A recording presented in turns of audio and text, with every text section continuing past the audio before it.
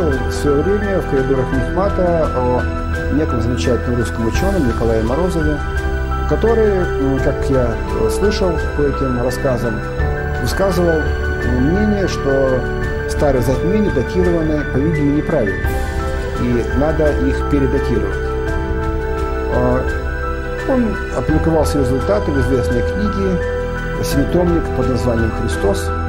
Я попросил принести мне этот том, котором содержится его таблица пересчета затмений. Увидел действительно э, новые даты, которые предлагал э, Николай Морозов для затмений, в том числе античности, раннего и позднего Средневековья. Э, затем я сделал следующее. Я взял алгоритм робота Ньютона, сохранил в нем все, кроме дат затмений. Я подставил этот алгоритм новые даты, которые предлагал Николай Морозов. И повторил вычисление Ньютона.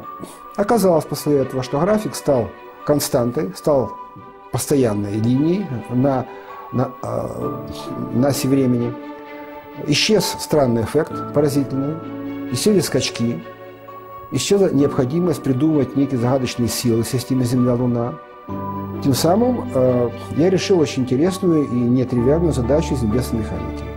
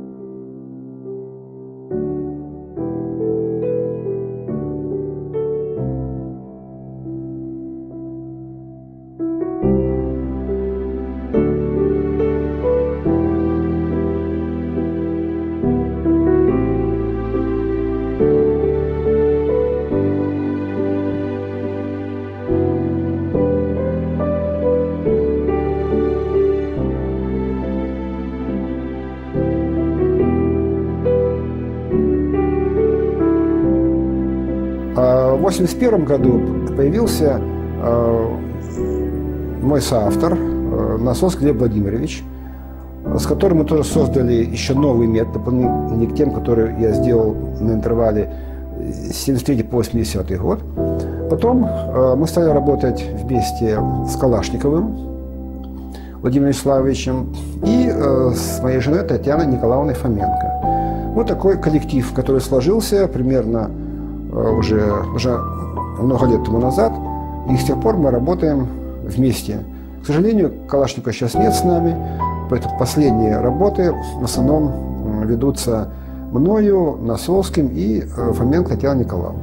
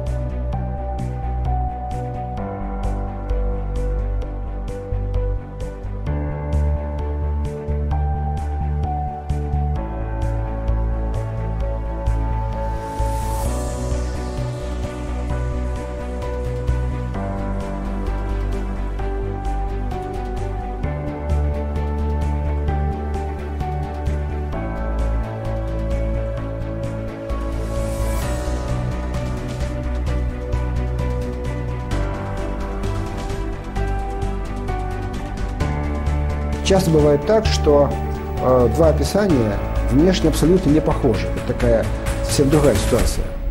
Две хроники якобы совершенно различны. Но, согласно математическому анализу, они оказываются почему-то очень близкими.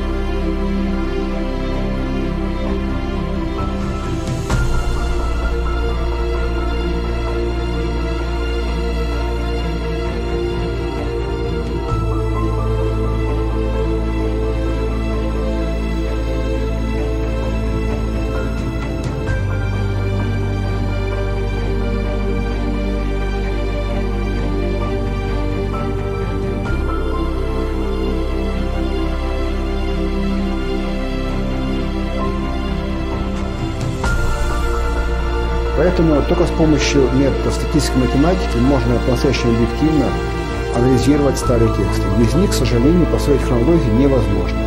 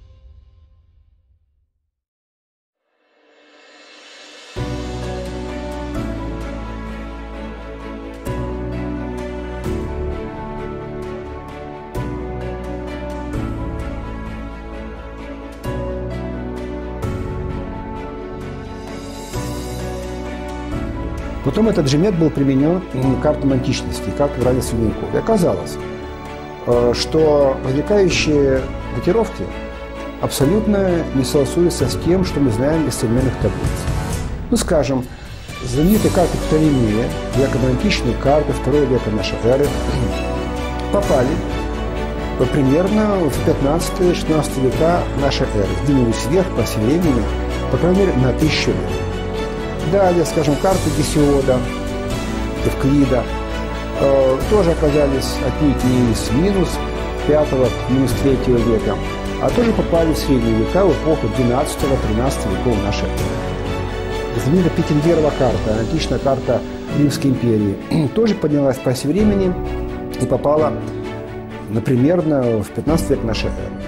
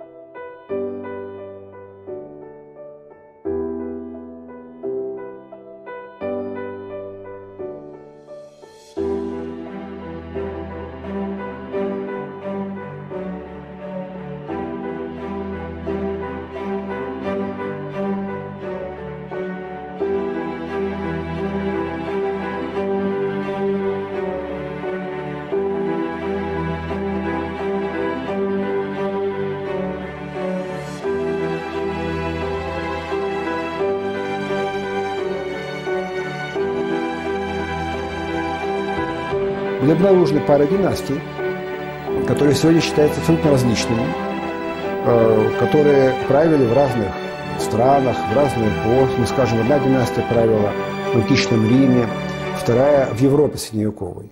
Но, тем не менее, наш метод неожиданно показал, что графики правлений этих династий поразительно похожи, близки, в той же мере, как близки заведомо зависимые э, пары династий. Такие э, пары мы назвали дубликатами, фантомами. Их казалось довольно много, э, несколько десятков.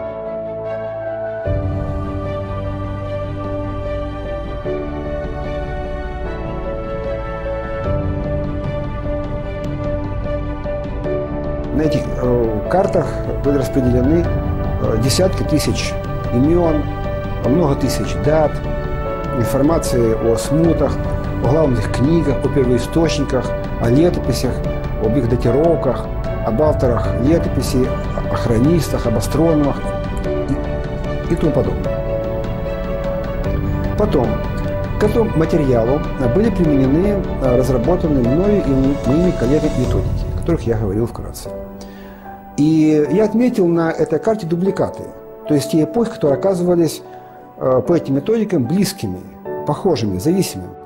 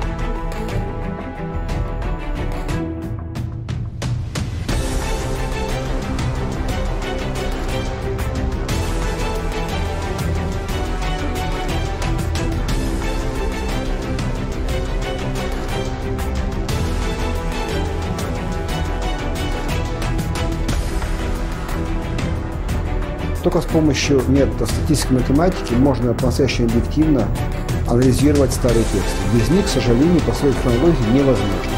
Поэтому до нас подлинная хронология э, создана не была. Она опиралась на очень субъективно трактуемый метод.